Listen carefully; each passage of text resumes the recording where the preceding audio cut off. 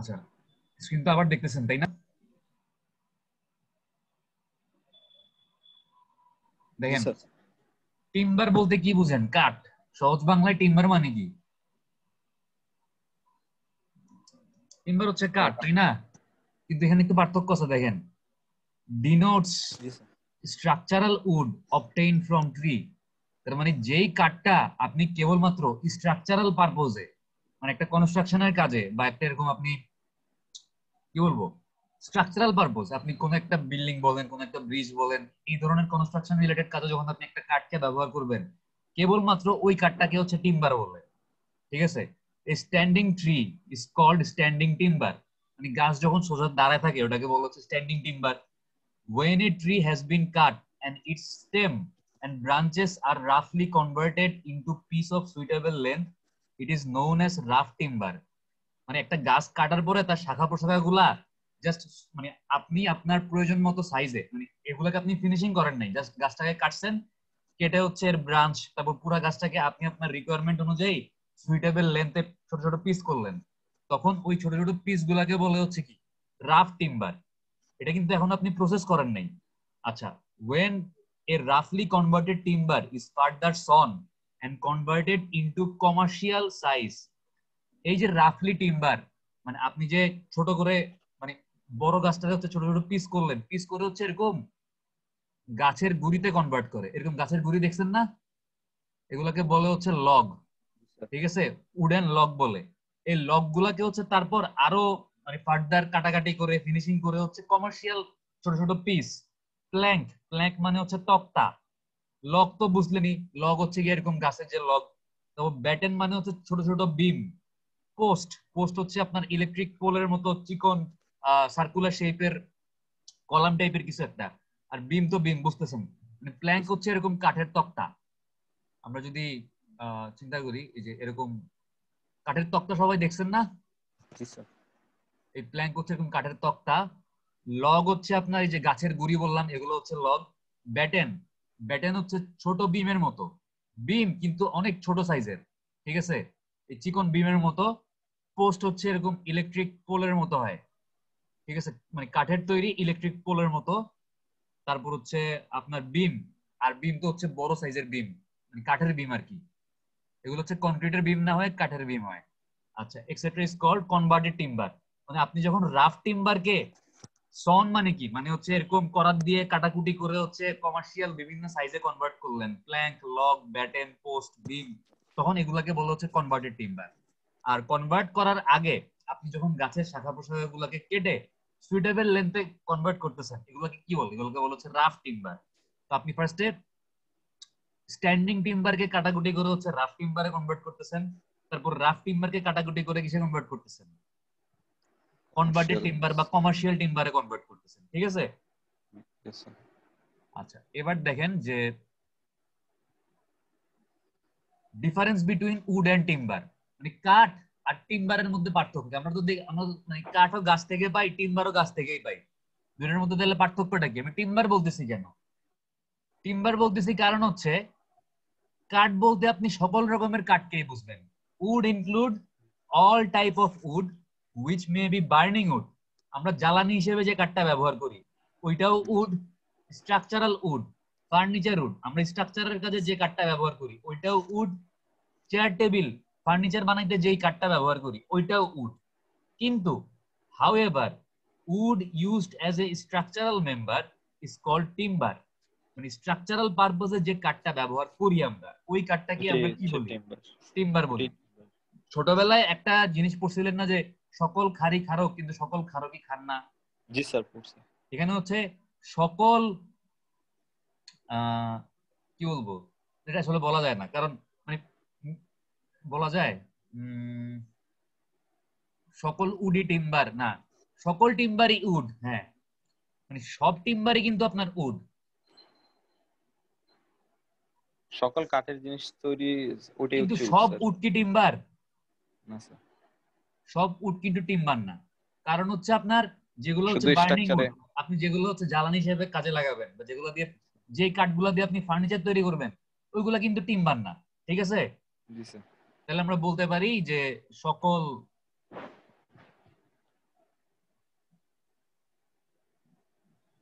Timber হচ্ছে would.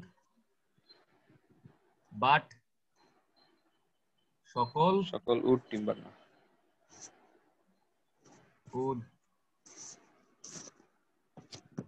Timber না। এটার ব্যাখ্যা জানতে চাইলে কি বলবেন?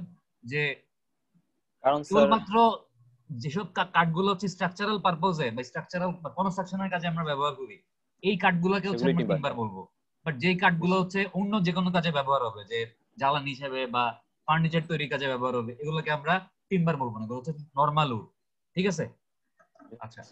এরপর দেখেন যে আমরা যদি আরেকটু দেখি দেখেন অ্যাডভান্টেজ অফ ইউজিং টিম্বার মানে আমরা কাঠ ব্যবহার করলে কি কি সুবিধা পাবো দেখেন ইজিলি অ্যাভেলেবেল এভরিওয়্যার সব জায়গায় পাওয়া যায় এরকম কোন দেশ আছে যেই দেশের মধ্যে কাঠ হয় না বা গাছ হয় না? সব দেশেই তো গাছ হয় আল্লাহর রহমতে। তারপর high salvage value salvage value মানে হচ্ছে আপনি একটা জিনিস একবার ইউজ করার পরে যখন এটা মানে বিক্রি করে দেন ভাঙ্গারির দোকানে ওইটাকে বলে হচ্ছে স্যালভেজ ভ্যালু আপনি মনে করেন কনক্রিট দিয়ে একটা বিল্ডিং বানাইছেন। আপনার কোনো কারণে ওই বিল্ডিংটা ভেঙে ফেলা লাগছে।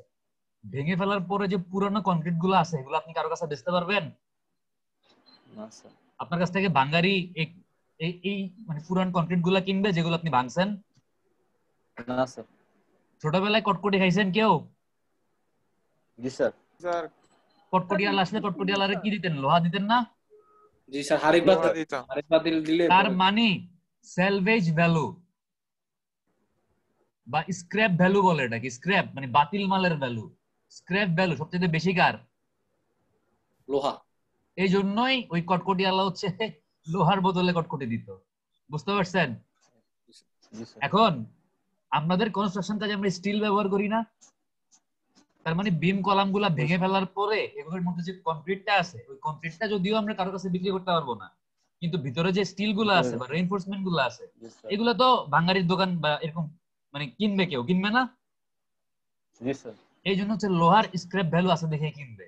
সেরকম হচ্ছে আপনার কাঠেরও একটা স্ক্র্যাপ ভ্যালু বা সালভেজ ভ্যালু আছে। কারণ আপনি মনে করেন একটা বিল্ডিং মানে জাপানে কনস্ট্রাকশনের কাজে কাঠ ব্যবহার করে, কারণ জাপানে কি বেশি হয়? ভূমিকম্প বেশি হয়। ঠিক আছে? তো মনে করেন এরকম একটা বিল্ডিং ভেঙে ফেলবে, কাঠের তৈরি বিল্ডিং ওই বিল্ডিংটা ভাঙার পরে ওই বিল্ডিংটা তৈরি করতে কাঠের যে কলাম বা বিমগুলা কাজে কাজে লাগছিল, ওইগুলা কিন্তু আপনার এরকম বিক্রি করতে পারবে। কারণ কেউ যদি পুরানো কাঠ দিয়ে বিল্ডিং তৈরি নাও করে বাট লিস্ট জ্বালানি কাঠ হিসেবে তো এগুলো ব্যবহার করতে পারবে পারবে না?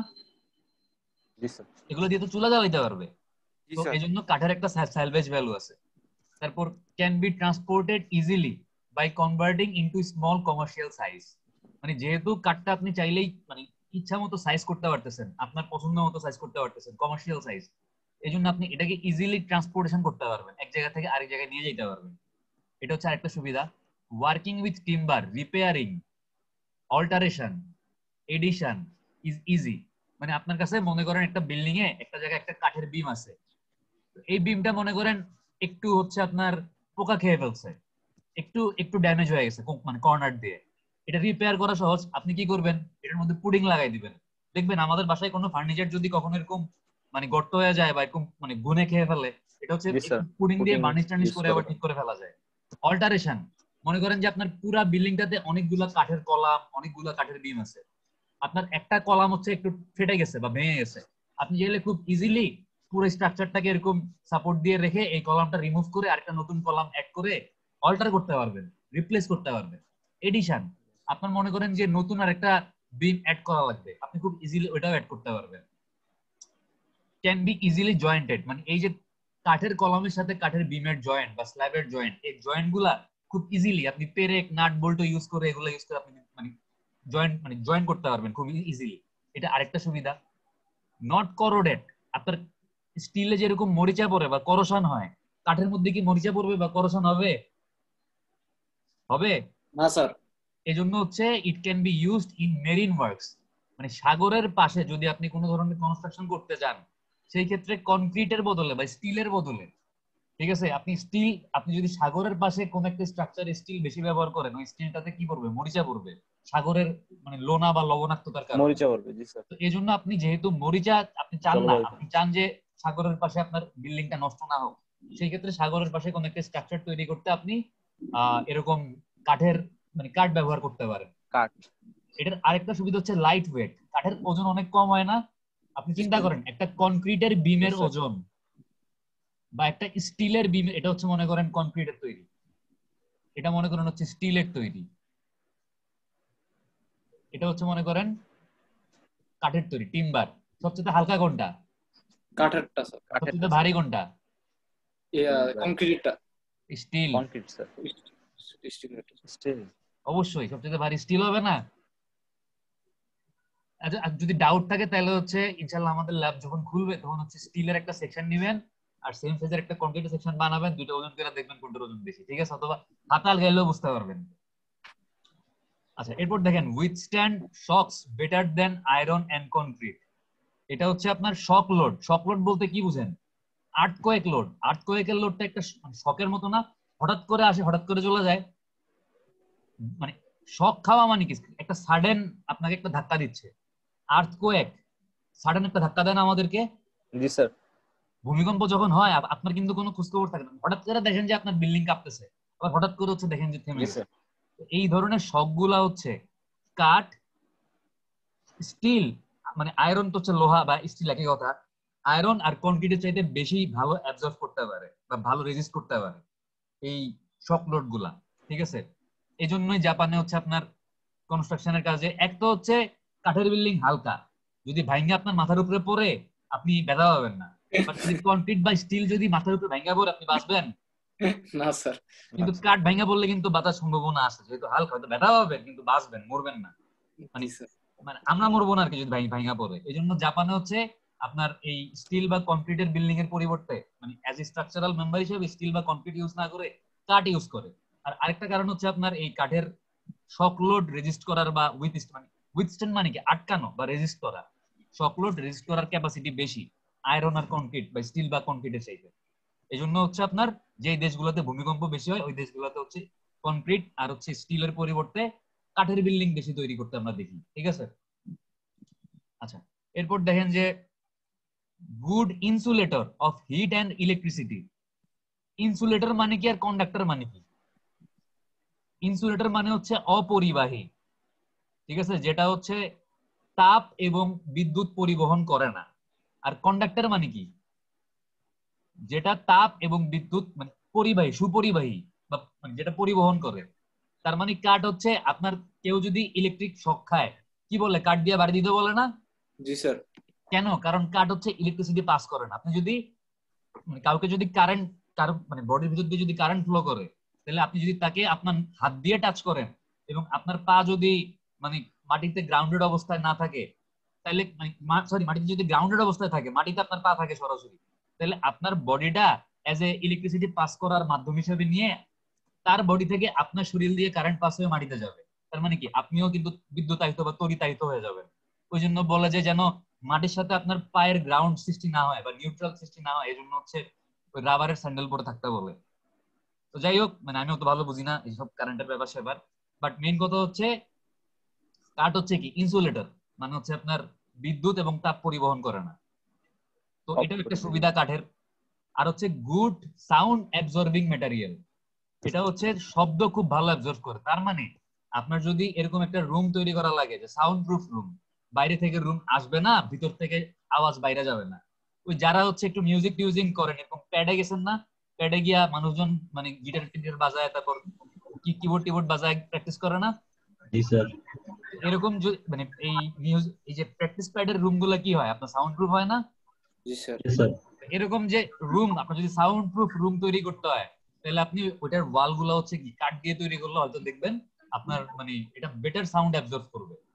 আপনার বাইরে থেকে সাউন্ড ভিতরে আসবে না ভিতর থেকে সাউন্ড বাইরে যাবে না। ঠিক আছে? এই এটা হচ্ছে কি কাঠের সুবিধা। বুঝতে পারছেন? জি এগুলো হচ্ছে আমরা যদি কনক্রিট আর স্টিল ইউজ না করে তার পরিবর্তে স্ট্রাকচারাল মেম্বার হিসেবে টিম্বার ব্যবহার করি তাহলে আমরা কি কি অ্যাডভান্টেজ পাইতে পারি? আমরা এতক্ষণ দেখলাম। এবার দেখেন ক্লাসিফিকেশন অফ ট্রিস আমরা হচ্ছে এখন গাছের প্রকারভেদ দেখব। আপনাদের মধ্যে কেউ আছেন বৃক্ষপ্রেমী? মানে গাছটা লাগাইতে অনেক পছন্দ করেন কেউ আছেন? রিয়ন। আল্লাহ জানে। যাই হোক কেউ না থাকলে সমস্যা নাই আমরা আশা করি। দেখেন প্রথমটা হচ্ছে কি? এক্সোজেনাস ট্রি ঠিক আছে? গাছ হচ্ছে বেসিক্যালি দুই রকম একটা হচ্ছে এক্সোজেনাস একটা হচ্ছে এন্ডোজেনাস মনে থাকবে? একটা হচ্ছে কি? এক্সোজেনাস এক্সোজেনাস একটা হচ্ছে এন্ডোজেনাস এই দুইটা কোনটা কি? একদম সহজ বাংলা যদি বলি এক্সোজেনাস হচ্ছে যে গাছগুলা পরিধিতে পারে। মানে এটা কি গাছের পরিধি না? এটা কি গাছের পরিধি না? মানে মোটা হয় স্যার। মানে গাছটা মোটা হবে ঠিক আছে? প্রত্যেক বছর একটু একটু করে মোটা হবে। এটা হচ্ছে বেড়ে বাড়বে। আমরা বাংলায় কি বলি? বেড়ে বাড়তেছে। মোটা হচ্ছে। এই গাছগুলোকে বলা হচ্ছে এক্সোজেনাস ট্রি মানে এগুলার বৃদ্ধি হচ্ছে তার পরিধি বরাবর হবে। জি আর স্যার যে গাছগুলার বৃদ্ধি হাইট বরাবর হয় লম্বা হবে বাঁশ গাছ। বাঁশ গাছে এরকম নতুন নতুন জয়েন্ট ক্রিয়েট হয় না? জি স্যার আমরা কি বলি? বাঁশের গিট বলি না এগুলোকে কি বলি আমরা? বাঁশের গিট গিটই তো বলি হ্যাঁ। তো এরকম হচ্ছে আপনার যে গাছগুলো হচ্ছে এরকম নতুন নতুন কানেকশন বা জয়েন্ট ক্রিয়েট করে লম্বা হবে এগুলাকে বলা হচ্ছে এন্ডোজেনাস বুঝতে পারছেন? জি স্যার কোনটা এক্সোজেনাস যেটা হচ্ছে পরিধিতে বাড়বে। আর কোনটা এন্ডোজেনাস যেটা হচ্ছে ইন্টারনালি বাড়বে এবং নতুন নতুন এরকম গিট ক্রিয়েট করে লম্বা হবে এগুলোকে বলা হচ্ছে এন্ডোজেনাস আচ্ছা এবার আমরা একটু দেখি এখানে কি লিখছে। স্যার। হ্যাঁ বলেন। স্যার এই আপনার ইঞ্জিনিয়ারিং ম্যাটেরিয়ালসে স্যার কাঠের এত ডিটেলস কিসের জন্য লাগতেছে স্যার? যদি একটু বলতেন। আপনি ভালো কাঠ চিনবেন কেমনে? এজন্য লাগছে আপনি কি সব কাঠ ব্যবহার করবেন? স্যার কাস্টিং করার জন্য স্যার আমার যে হ্যাঁ। কাঠ ইউজ করতে হবে এমন হ্যাঁ। কোনো কথা আছে স্যার? আমার তো steel use steel sheet use করলেও হয় স্যার। আমি তো কাস্টিং এর জন্য মানে কাঠের এত কিছু জানতেছি না। কাস্ট আপনি যখন কাস্টিং করবেন আপনি এখানে যে ফর্মওয়ার্ক হিসেবে কাঠ ব্যবহার করতেছেন বা স্টিল ব্যবহার করতেছেন ওটা তো ফর্মওয়ার্ক ওটা তো একটা সময় পর আপনি রিমুভ কইরাই ফেলবেন তাই না? জি স্যার। এখানে আমরা কথা বলতেছি পার্মানেন্ট স্ট্রাকচারাল মেম্বার হিসেবে কাঠ যখন ব্যবহার করবেন তখনকার জন্য আপনার কাঠের কিছু গুণাবলী জানতে হবে। এই জন্য আমরা তো ভালো পড়তে মানে একটু ডিটেলস পড়তেছি। আপনি যে. পাস করার পরে জাপানে গিয়া চাকরি করবেন না তার কোনো গ্যারান্টি আছে? না স্যার না বাংলাদেশে স্ট্রাকচারাল মেম্বার হিসেবে কাঠের অপেক্ষা ব্যবহার নেই বাট বাইরের দেশে তো আছে। ও আচ্ছা স্যার এখন বুঝতে পারছি স্যার এই জন্য কোশ্চেনটা করা যে বাংলাদেশে তো নাই স্যার। বাংলাদেশে আমরা বিম কলামের মানে স্টিলের বিম বা কংক্রিটের বিম এগুলোর পরিবর্তে কিন্তু কাঠের বিম দেখি না। দেখছেন কোথাও? তো গ্রাম দেশে দেখবেন। গ্রাম দেশে কিন্তু যেখানে হচ্ছে কম খরচে বিল্ডিং করতে যায় ওইখানে কিন্তু এরকম কাঠের বিম বা কাঠের কলাম ইউজ করে। দেখেন মানে একতলা বিল্ডিং গুলোতে করে। আমি আমার মানে গ্রামের বাড়িতে দেখছি এরকম উপর দেওয়া কাঠের এরকম ওই যে আমরা যে ব্যাটেন দেখছিলাম মানে ছোট বিম মানে বড় সাইজের বিম না ছোট সাইজের বিম ইউজ করে। উপরে হচ্ছে এরকম টানা দেয়। তো বাট বাইরের দেশগুলোতে এরকম বড় বড় বিল্ডিং একতলা দোতলা বিল্ডিং হচ্ছে কাঠ দিয়ে করে। ওই ক্ষেত্রে হচ্ছে আপনার এই ভালো টিম্বারটা বা কোন টিম্বারটার স্ট্রাকচারাল ক্যাপাসিটি সবচেয়ে বেশি হবে এগুলা বুঝতে হয়। মেইন কথা হচ্ছে কোন টিম্বারটা আপনি ইউজ করবেন আপনার বেসিক একটা আইডিয়া থাকা লাগবে এই জন্য আমরা একটু ডিটেলস করতেছি ঠিক আছে? জি স্যার আচ্ছা এক্সোজেনাস ট্রি কোনটা এন্ডোজেনাস ট্রি কোনটা আমরা বুঝছি। এবার একটু একটু দেখি বিস্তারিত এখানের মধ্যে কি লিখছে। দেখেন এক্সোজেনাস ট্রি হচ্ছে this trees increase in bulk মানে এটা হচ্ছে পরিমাণে বাড়ে বাল্ক মানে সাইজে বাড়ে মানে পাশে বাড়ে ঠিক আছে? By the formation of successive annual ring প্রত্যেক বছর একটা করে এরকম রিং তৈরি হয়। দেখতেছেন? এই যে এই ছবিটাতে এরকম অনেকগুলা বলয় রেখা আছে না? এই দেখেন এক নাম্বার লিখে নাই দুই নাম্বার লিখছে তারপর চার নাম্বার লিখছে ছয় নাম্বার লিখছে মাঝখানে কিন্তু ঠিকই সাতও আছে পাঁচও আছে। মানে প্রত্যেক বছর একটা করে এরকম বলয় রেখা তৈরি হয়। এবং আপনি গাছটা কাটার পরে আপনি যদি এই বলয় রেখাগুলা গনেন তাহলে আপনি এই গাছটা কত বছর পুরানো গাছ? ওইটা বাইর করে ফেলতে পারবেন। ঠিক আছে?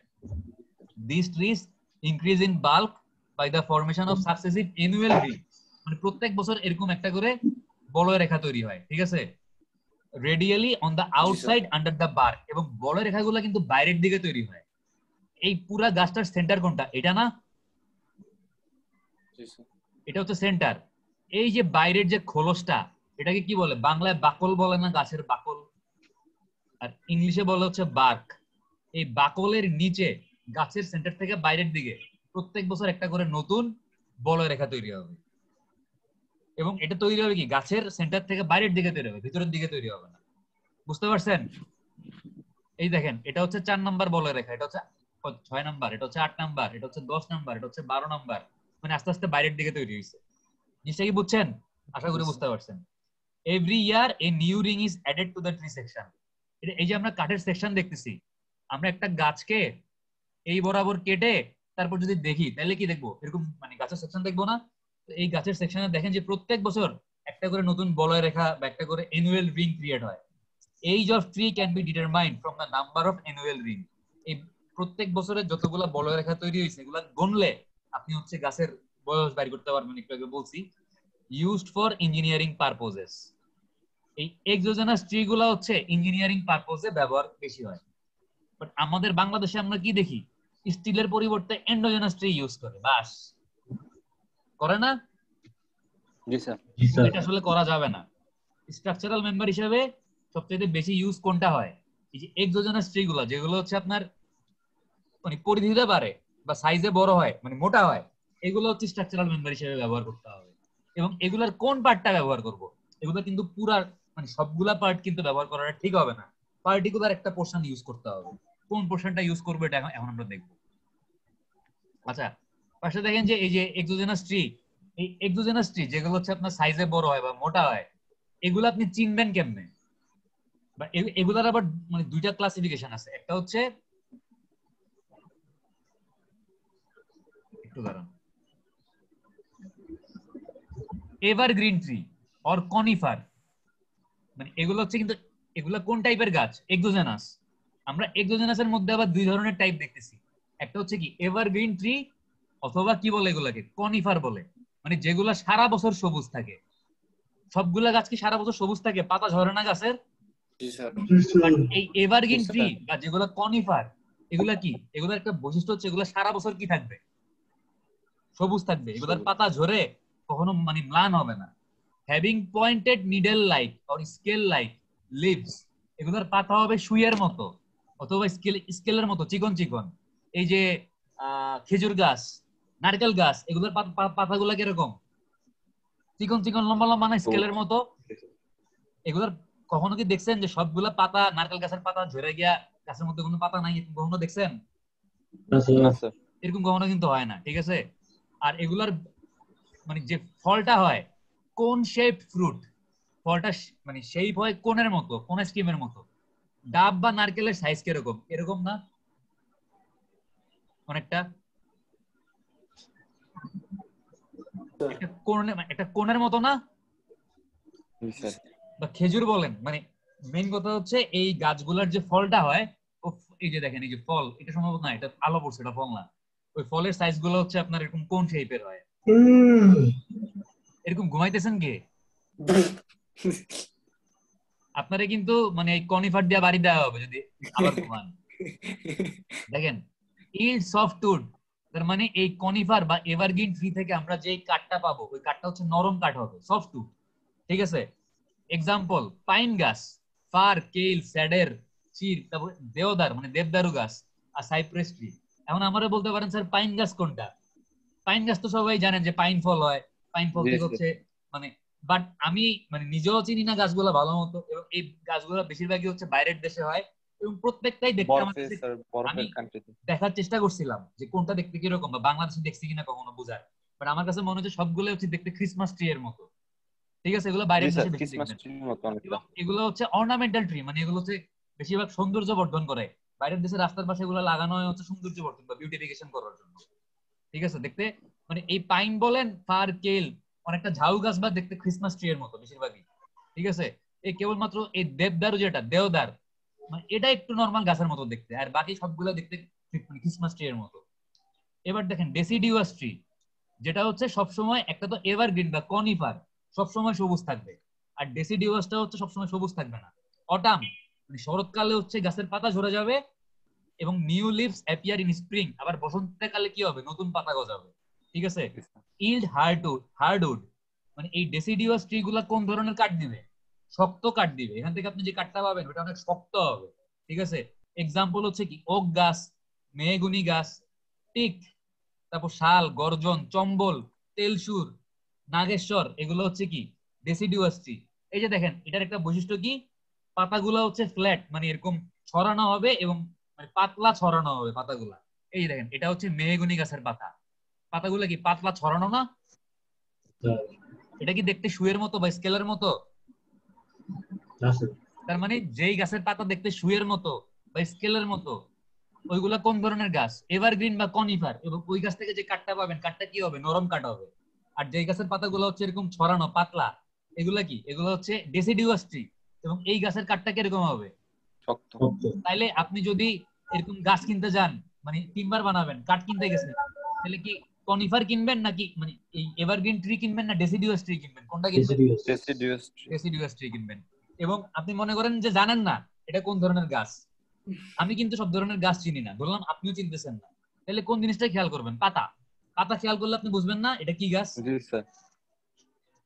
আচ্ছা। এবার দেখেন আমাদের এক্সোজেনাস ট্রি যেটা হচ্ছে সাইজে বাড়বে মোটা হবে ওইটার মধ্যে দুইটা পার্ট চলে গেল। এই এভারগ্রিন অথবা কনিফার আর একটা হচ্ছে কি ডেসিডিউয়াস এবার হচ্ছে এন্ডোজেনাস ট্রি যেটা হচ্ছে লম্বা হবে নতুন নতুন এরকম গিট ক্রিয়েট হবে এই যে বাঁশের গিট আর এটা লম্বা হবে দেখেন। দিস ট্রি গ্রো ইনওয়ার্ড মানে এগুলো হচ্ছে ভিতরে বাড়ে। আমাদের এক্সোজেনাস ট্রি হচ্ছে কি হয়? এরকম পাশে বাড়তেছে না সাইডে বাড়তেছে এবং নতুন নতুন এই অ্যানুয়াল রিং বা বলয় রেখা বাইরের দিকে ক্রিয়েট হচ্ছে। বাট এই এন্ডোজেনাসের ক্ষেত্রে যেটা হয় ভিতরের দিকে গাছটা বাড়ে এবং ভিতরের দিকে নতুন নতুন কি ফ্রেশ লেয়ার ইন্টারনালি ক্রিয়েট হয়। এবং ক্রিয়েট হওয়ার কারণে আপনারা দেখেন thus the older formation layer of wooden material are on the outside তার মানে হচ্ছে দেখেন এক্সোজেনাস টি এর ক্ষেত্রে পুরান কাঠটা কি ভিতরের দিকে না? আর নতুন কাঠটা কি হচ্ছে বাইরের দিকে? আপনি চিন্তা করেন যে বলয় রেখাটা একদম বাইরে আছে ওইটা কি ওটার বয়স কম না? আর যে বলয় রেখাটা ভিতরে আছে ওটার বয়স তো বেশি তাই না. আর এই এন্ডোজেনাসের ক্ষেত্রে যে বলয় রেখাটা ভিতরে আছে ওইটার বয়স কম। কিন্তু যেটা বাইরের দিকে ওইটার বয়স মানে বেশি। উল্টা উল্টা হচ্ছে। They grow vertically in a fashion that the links placed end to end with not connecting to adjacent link মানে এরকম দুইটা লিঙ্ক হচ্ছে আপনার একটা নট বা এরকম গিট দিয়ে কানেক্ট হয়। এক্সাম্পল হচ্ছে ব্যাম্বো পালম বাঁশ গাছ আমরা সবাই চিনি। এটা এগুলো হচ্ছে এন্ডোজেনাস ট্রি আচ্ছা এবার দেখেন এই যে বললাম যে আমরা হচ্ছে এভারগ্রিন ট্রি বা কনিফার থেকে কি পাবো? সফটউড পাবো বলছি না?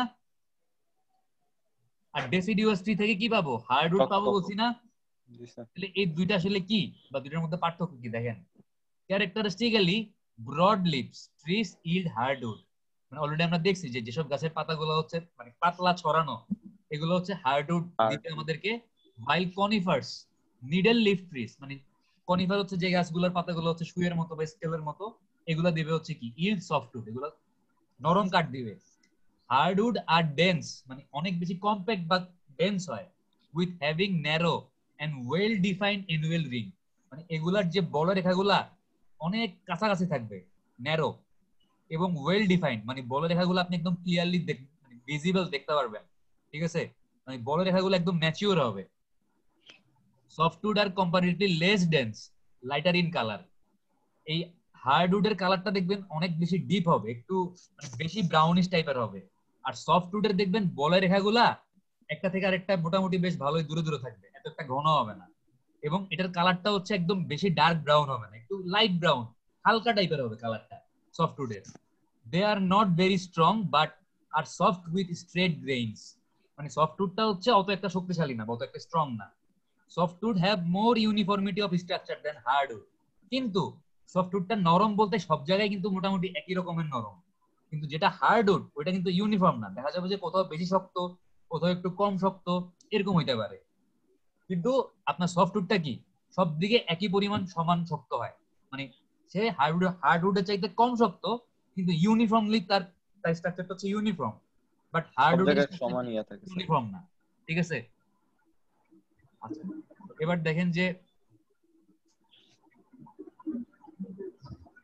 আমরা হচ্ছে টিম্বার সেকশন একটু দেখার চেষ্টা করব যে একটা গাছ কাটার পরে তার যে ক্রস সেকশনটা একটা গাছ কাটার পরে দেখতে এরকম দেখবেন না আপনি যদি ভিতরে দেখেন। এই যে ডান দিকের ছবিটা দেখতেছেন এরকম দেখবেন না? এখানে কোনটা কি? অথবা আপনি এরকম দেখতে পারেন এরকম মনে থ্রি ডাইমেনশনাল চিন্তা করেন আর টু ডাইমেনশনাল চিন্তা করেন একই কথা দেখেন। এটার মধ্যে কি কি থাকে? Consist of pith heartwood sapwood cambium layer inner bark outer bark and medullary ray inner bark কি আর আউটার বার্ক কি? এই যে গাছের বাকলটা আছে আমাদের গাছের বাকল কোনটা? এই- লাল রঙের অংশটা গাছের বাকল না? সরি লাল না। এই কালো অংশটা গাছের বাকল না? এই গাছের বাকলের যে বাইরের পয়েন্টটা বা বাইরের সাইডটা বা বাইরের সারফেসটাকে বলা হচ্ছে আউটার বার্ক ঠিক আছে? এই বাইরের সারফেসটাকে বলা হচ্ছে আউটার বার্ক আর এই যে ভিতরের সারফেসটা এইটা কি আমাদের ভিতরের সারফেস না?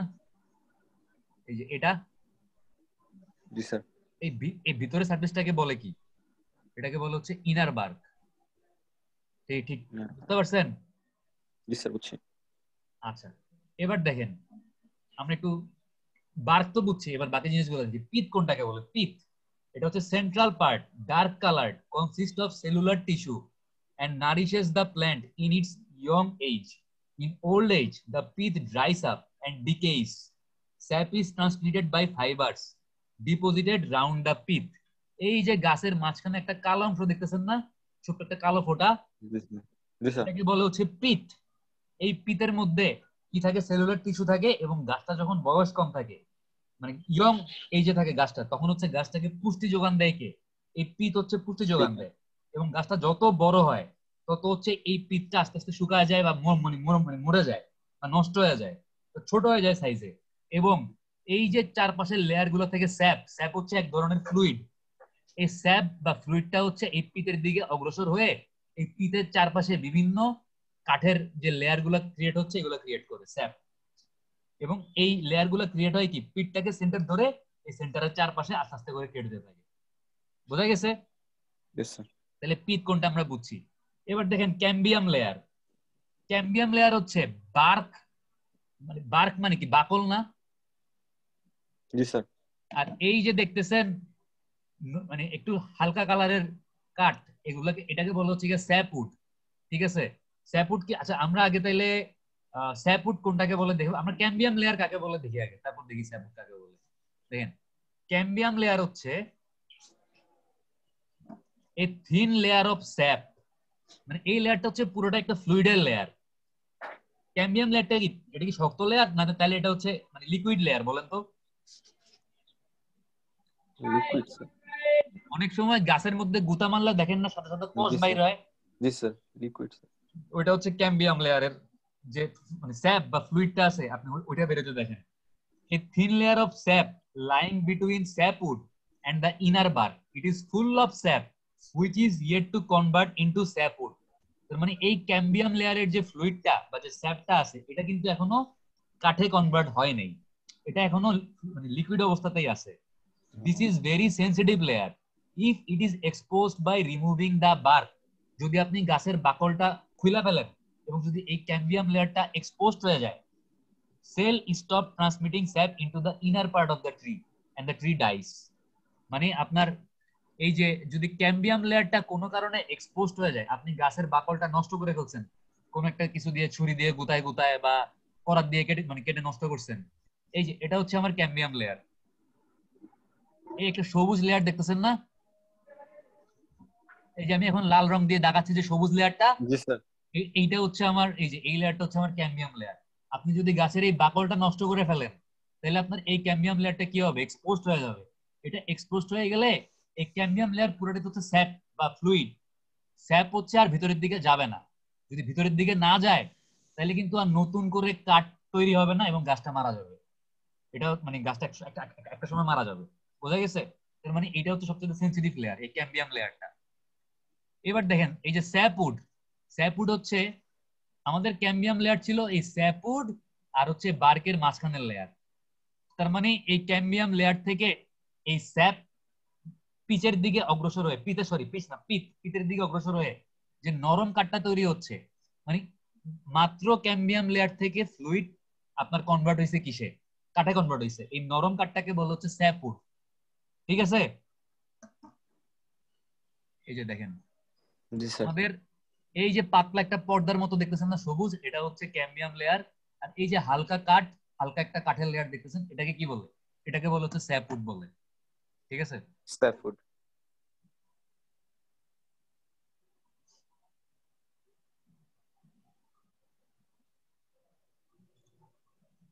আচ্ছা স্যাপউড তো আচ্ছা স্যাপউডটা কি পরে আছে নাকি দেখি আমরা তো সিরিয়ালি যাইতেছি না বোধহয় ক্যাম্বিয়াম লেয়ারের পরে মেডুলার রেনিয়া কথাবার্তা হচ্ছে স্যাপউড কই এই যে দেখেন স্যাপউড আরে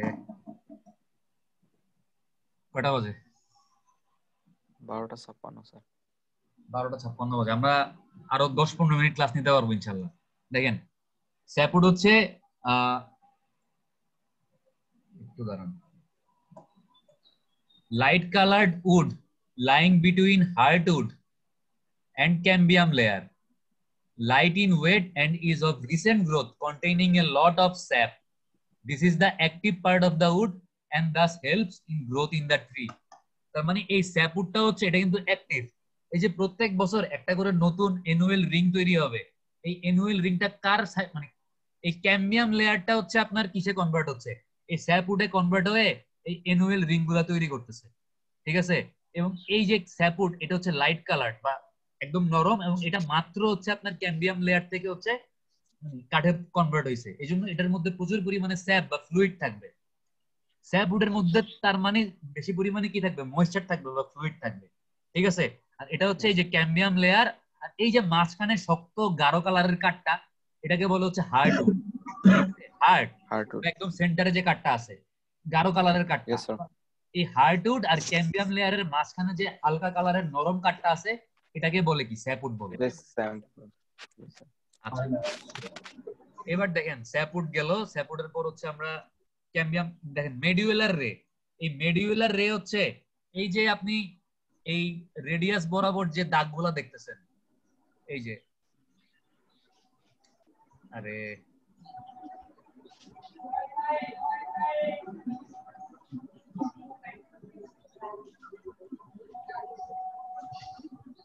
এই যে দাগগুলা দেখতেছেন না?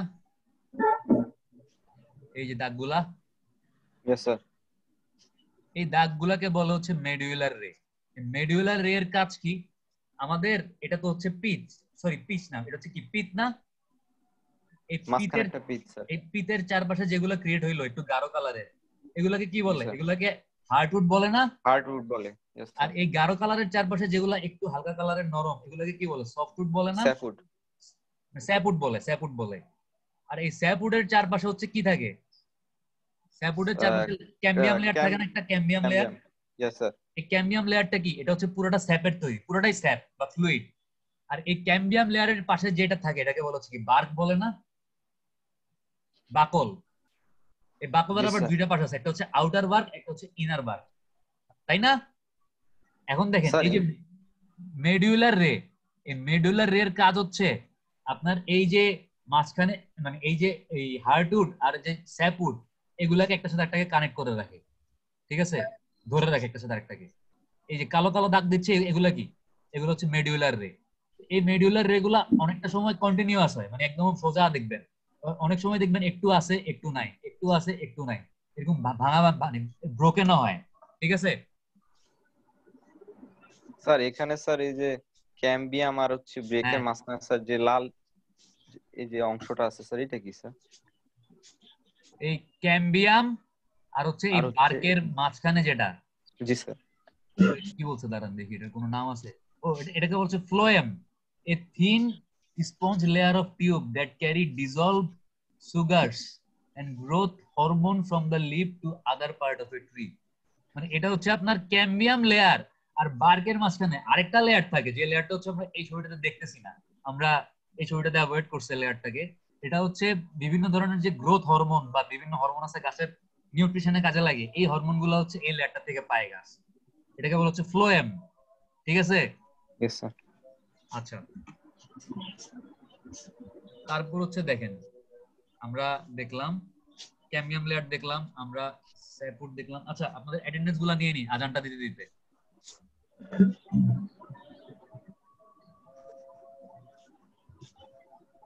রোল নাম্বার ওয়ান নাই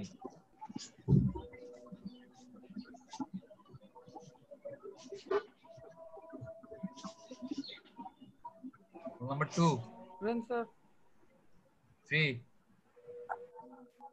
Four. Five. Six. Yes, sir. Seven. Yes, sir. Eight. Present, sir. Nine. Nine, ten, Present, sir. eleven, yes sir thirteen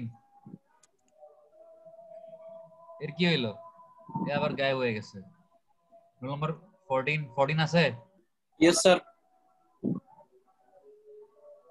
Roll number sixteen present sir roll number seventeen Present, sir. Eighteen Yes, sir. Twenty Present, sir. Sir সত- Satyajit sir যে ID chart sir ওর আব্বুর বলে অসুস্থ sir হ্যাঁ ও বলছে বলছে আমাকে বলছে। আচ্ছা আমার স্ক্রিন তো দেখা যাচ্ছে এখন দেখা যাচ্ছে না? জি স্যার তাহলে আমরা এই। ক্যাম্বিয়াম লেয়ার চিনলাম আমরা হচ্ছে মেডুলার রে কাকে বলে চিনলাম। এখন হচ্ছে আমরা দেখব আর কি বাকি আছে আমাদের একটু দাঁড়ান। জাস্ট একটু একটু দেখে যাই। একটু রিডিং পরে এটা আমি শেষ করে দিচ্ছি দেখেন। This are the thin radial fibre ওই যে দেখলাম যে রেডিয়াস বরাবর তৈরি হয়েছিল extending from cambium layer right to the pith এটা হচ্ছে ক্যাম্বিয়াম লেয়ার থেকে একদম পিট পর্যন্ত প্রোপাগেট হয়।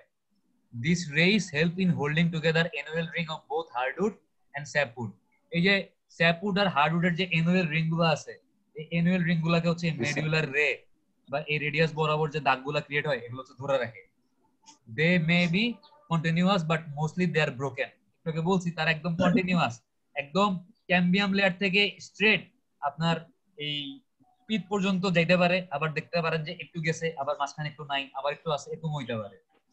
তারপর দেখেন হার্টউড ঠিক আছে? এটা তো বললাম যে পিচের চারপাশে যে শক্ত কাটটা থাকে এটাকে বলা হচ্ছে heartwood dark Hardwood. Coloured portion এটার কালারটা একটু ডার্ক হয় of the tree surrounding the pith এটা পিতের চারপাশে তৈরি হয় almost dead portion of the tree এই পোর্শনটা হচ্ছে নিষ্ক্রিয় পোর্শন আপনার গাছের যে প্রত্যেক বছর একটা করে এনুয়াল রিং তৈরি হয়, এই এনুয়াল রিংটা তৈরি হয় কি? স্যাপউডটা মানে আপনার ক্যাম্বিয়াম লেয়ার স্যাপউডে কনভার্ট হয় আর এনুয়াল রিং তৈরি হয়।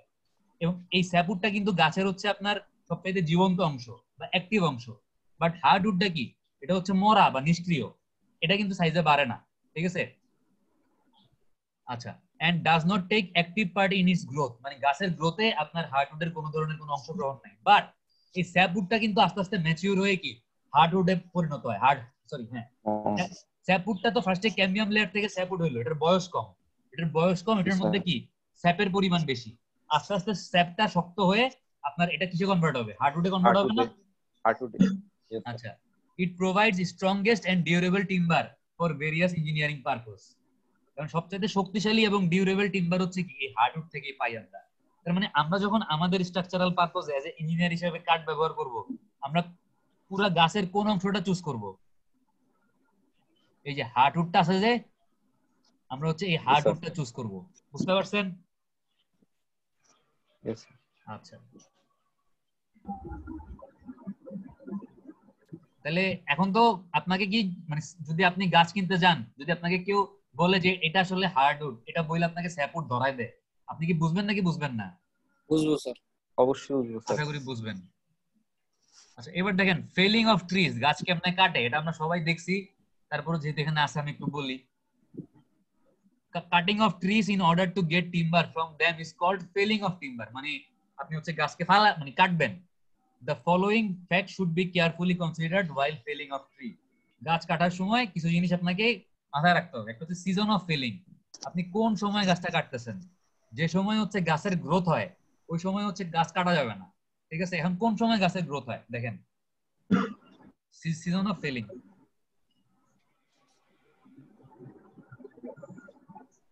tree should be cut only when sap is not active মানে যখন হচ্ছে গাছের এই স্যাপগুলা অ্যাক্টিভ না, এই স্যাপগুলা হচ্ছে আপনার ক্যাম্বিয়াম লেয়ার থেকে সফটউডে কনভার্ট হচ্ছে না। ঠিক আছে? গাছের কোনো গ্রোথ নাই যে সিজনটাতে ওই সিজনটাতে গাছটাকে কাটতে হবে। যখন হচ্ছে sap not active in mid summer ঠিক আছে? গ্রীষ্মকালের মাঝামাঝি এন্ড মিড উইন্টার শীতকালের মাঝামাঝি। আপনার এই স্যাপটা অ্যাক্টিভ থাকে না, তখন হচ্ছে আপনাকে গাছ কাটতে হবে।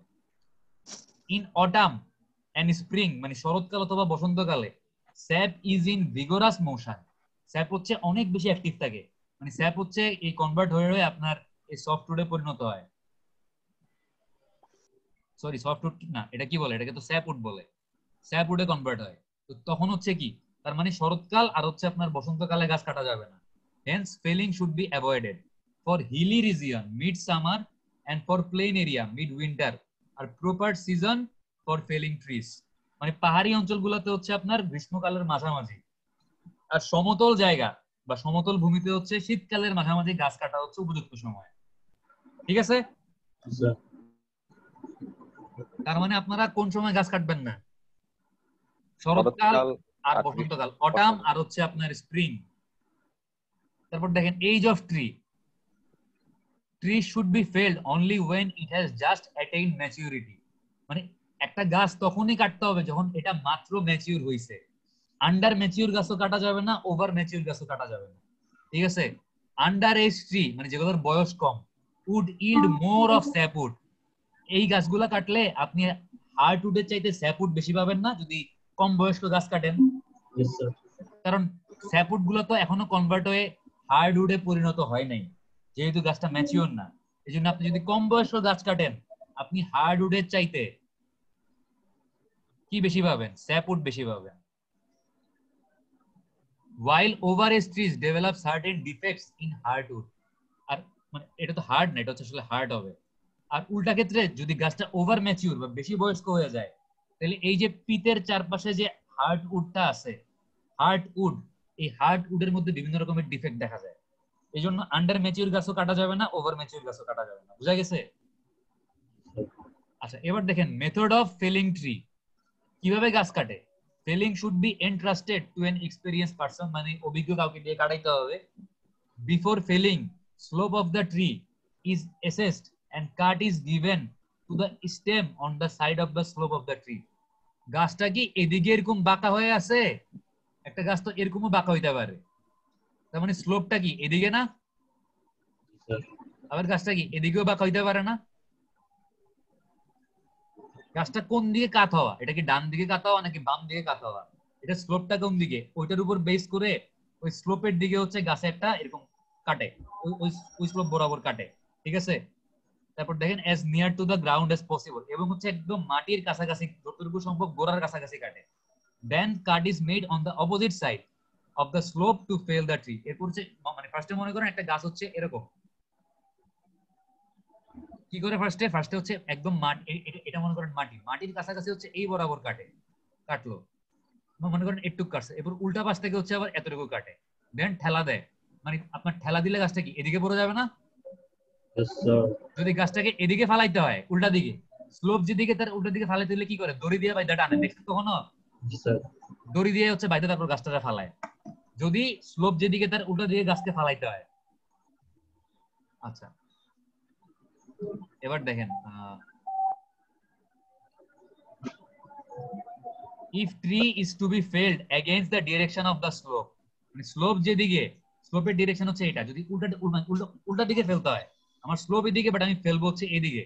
তাহলে কি করতে হবে? Ropes are tied to the tree and pull to the direction of felling by giving suitable cut to the stem মানে এই কাণ্ড বরাবর কাইটা যেদিকে ফেলতে হবে দড়ি দিয়ে বাইরে দিকে টাইনা টাইনা ফালাই গাছ সবে আশা করি দেখছেন এরকম দড়ি দিয়ে গাছ টেনে ফালাইতে দেখছেন না ঘরবাড়ি ঘর বাড়ি ঘর বাড়ি বা ইয়া থাকলে হ্যাঁ কারণ গাছটা নাইলে ভাঙা ঘরের উপর পড়তে পারেন অনেক সময়।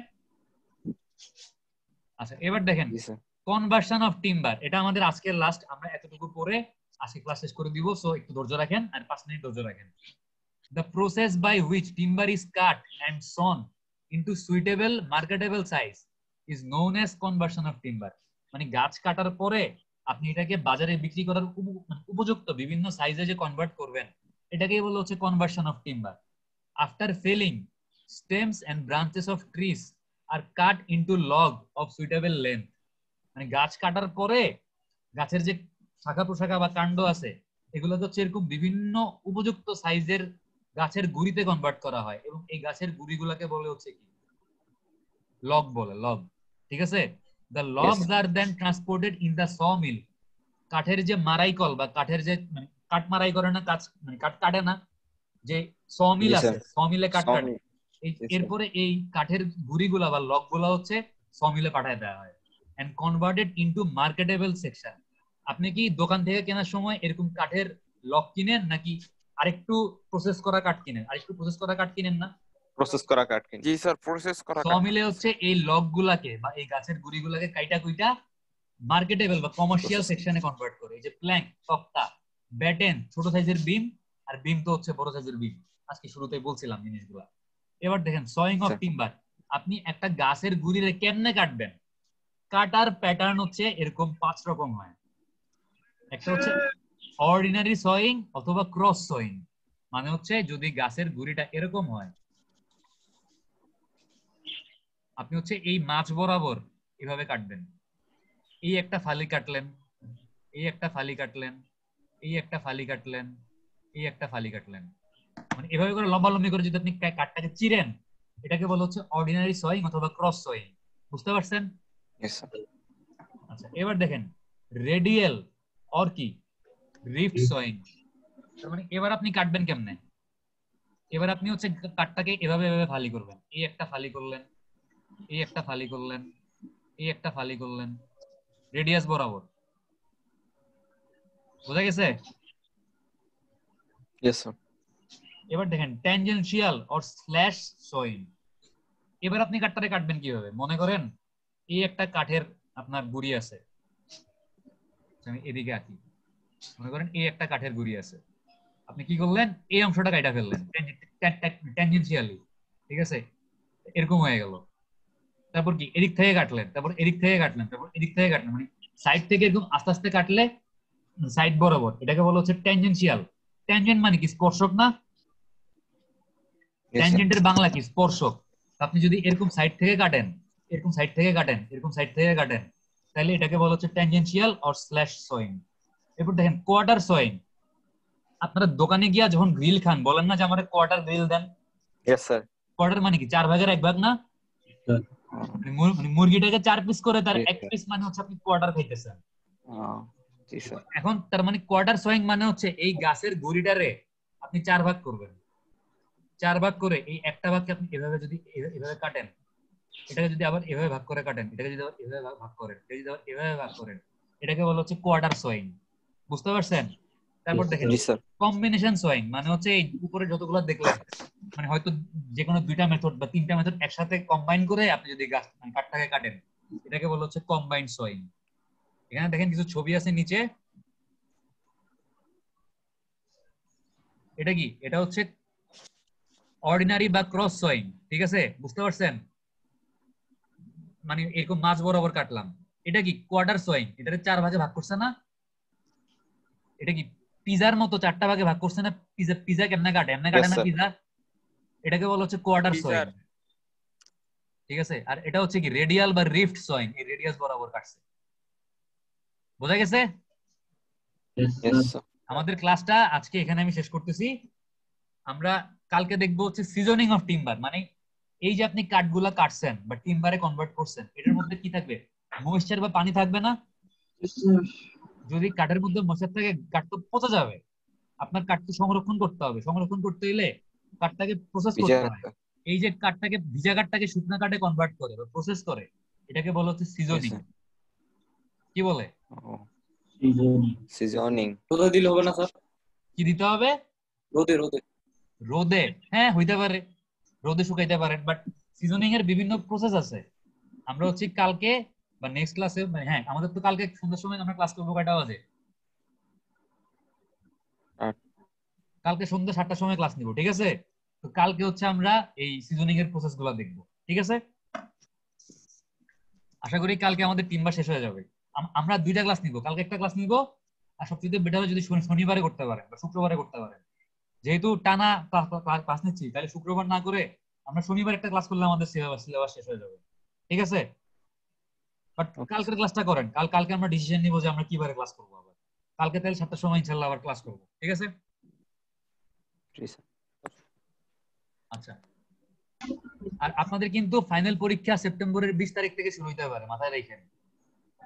স্যার হ্যাঁ বলেন। পরীক্ষায় কি স্যার এই যে ধরেন তিন ক্রেডিটের কোর্স মানে তিনশো মার্কেরই হবে বা এইগুলো একটু যদি বলতেন স্যার। ওইভাবে প্রিপারেশন নিতাম আর কি। তিন ক্রেডিটের কোর্স মানে স্যার আপনার অনলাইনে এক্সামটা কি তিন ক্রেডিটেরই হবে নাকি এই মার্কস ডিস্ট্রিবিউশনে কমবে? না মার্ক ডিস্ট্রিবিউশন তো কমতে পারে বাট সিলেবাস হয়তো কমবে না। সিলেবাস পুরোটাই থাকবে। আপনাকে কত নাম্বারে পরীক্ষা দেওয়া হবে বা কতক্ষণ সময় দেওয়া হবে এগুলা নিয়ে এখনও তো মানে পনেরো বিশ দিনের মতো টাইম আছে। আমরা ছয় তারিখ থেকে নয় দশ তারিখের মধ্যে একটা মানে ডিসকাশন করে ডিসিশনে এসে আমরা জানাই দিব যে মানে কত নম্বরে পরীক্ষা হবে কতক্ষণ সময় দেওয়া হবে কীভাবে পরীক্ষা হবে সবকিছু আপনাদেরকে জানাই দেওয়া হবে। বাট মাথায় রাখেন যে আপনাদের ছয় তারিখ থেকে উনিশ তারিখ পর্যন্ত হচ্ছে সম্ভবত দুই সপ্তাহ পিএল আর বিশ তারিখ থেকে পরীক্ষা শুরু হইতে পারে। আপাতত এখনও কিন্তু এগুলো ফাইনাল না বাট আমরা এরকম আমাদেরকে মানে বলা হয়েছে যেটা হইতে পারে আমরা আপনাদেরকে জানাইলাম বাট সম্ভবত এটাই ফাইনাল হবে। নাইনটি পার্সেন্ট মোটামুটি শিওর এটাই ফাইনাল ঠিক আছে? ওকে স্যার বুঝতে পারছি স্যার ঠিক আছে তাহলে আপনারা মানে মেন্টালি প্রিপারেশন নেন প্লাস বাসায় একটু পড়ালেখা শুরু করেন যে বিশ তারিখ থেকে পরীক্ষা হচ্ছে দেখবেন। ওকে স্যার আচ্ছা তাহলে কালকে সন্ধ্যা সাতটার সময় আমরা ক্লাস করতেছি খোদা হাফেজ। আল্লাহ হাফেজ স্যার জি স্যার